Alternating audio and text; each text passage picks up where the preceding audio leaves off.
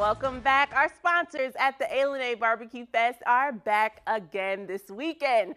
The top pit masters are coming out and giving us a taste of exactly what we love. I'm very excited about this. And one of the pit masters you can catch while you're there is Kevin Bludso. You know him from your TV screen on the American Barbecue Showdown, and he has a cookbook, Bludso's Barbecue Cookbook. The other day, I spoke to Kevin about his experience at the fest and what he'll be cooking up this year. Check it out. Kevin, thank you so much for being here with us today. Glad to be here. Glad to be anywhere. Yes. So tell me a little bit about your background, you know, kind of brag on yourself a little bit right now. Oh man, I hate doing that. Uh, well, I'm born and raised in Compton, spent summers in Texas, learned how to barbecue out there with my granny and and you know, opened up a restaurant in Compton years ago, and it's been going crazy ever since then. You know, so just doing my thing and looking forward to coming out there this weekend and hanging out with y'all. Woo! And you are a pit master. Um, um, masters being the the key word. But what makes a good pit master?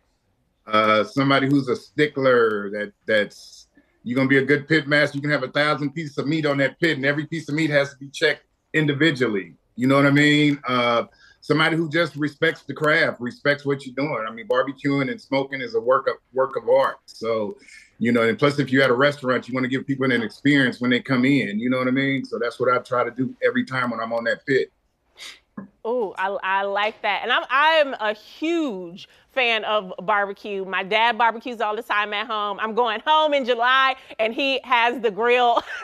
he knows to oh, have the grill ready.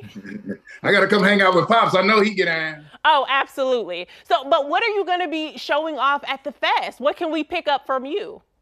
Oh, they can they can, you know, first they can go pick up my book and they can learn all the secrets. But uh uh, I'm gonna be doing some of uh, the, the dinosaur bone uh, beef short ribs uh, that are excellent. Uh, Friday Thursday night, I'm gonna be at Michael Jordan's uh, restaurant doing some uh, smoked curry oxtails. Uh, you got so many great chefs. There's gonna be so many doing different things. Uh, Rasheed Philips, Michael Symon, Rocco DiSpirito, if I said it right. Just so many, too many to name. And local people like Chef Misty, the butcher's wife. Oh, it's gonna be a great day. We were there last year and we had a great time. This is the second year and it's getting bigger and bigger every year. So I think everybody in that area of Ilani and however come near and far in, in, in the what is it, South Pacific? What y'all call that? South no. Pacific, not Pacific. uh, don't tell me. Uh, Pacific Northwest. That's Pacific a... Northwest. Yeah. Make sure y'all all come out and hang out. You gonna be there? I I am definitely gonna try because, like I said, I am huge on barbecue. Okay, well, you're gonna get some some. You got people coming in from all over to come cook some good I barbecue. I love it. Now. I'm glad that you brought that up. We are gonna have like a variety of people. Do you think you have any competition at this little fest? Oh, you, yeah. I mean, I'm not competing. You know, I'm OG. I don't have to compete no more. People can just check my resume. Nah, but you got some youngsters up there at the barbecue contest that, like I say, Pacific Northwest is getting known for a lot of barbecue you know, you guys are doing it up there. So I, I give mad props. Like it's some good people up there, and uh, and we're you know it's going to be hands on with us. Uh, I think Rasheed is doing a lamb or something like that.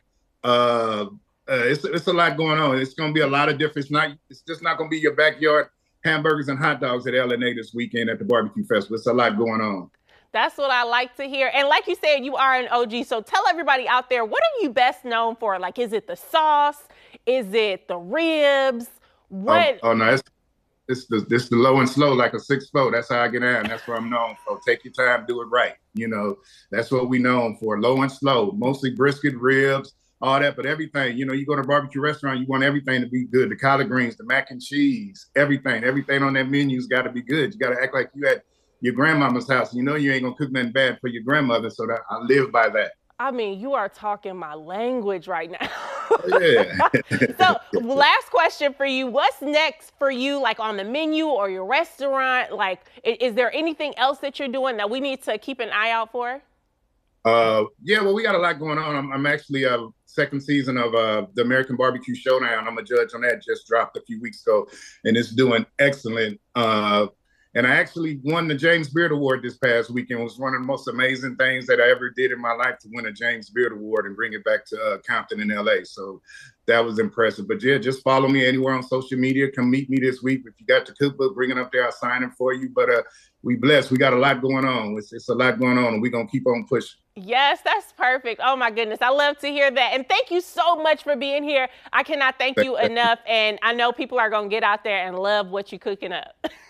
I'll tell them, yeah, come on by, come on by and, and, and, get them hands in that mouth dirty with this barbecue sauce and all this good meat uh, uh Friday, Saturday, and Sunday. We can have a good time. This barbecue fest is right up my alley. Now, my dad's barbecue is always on point, always.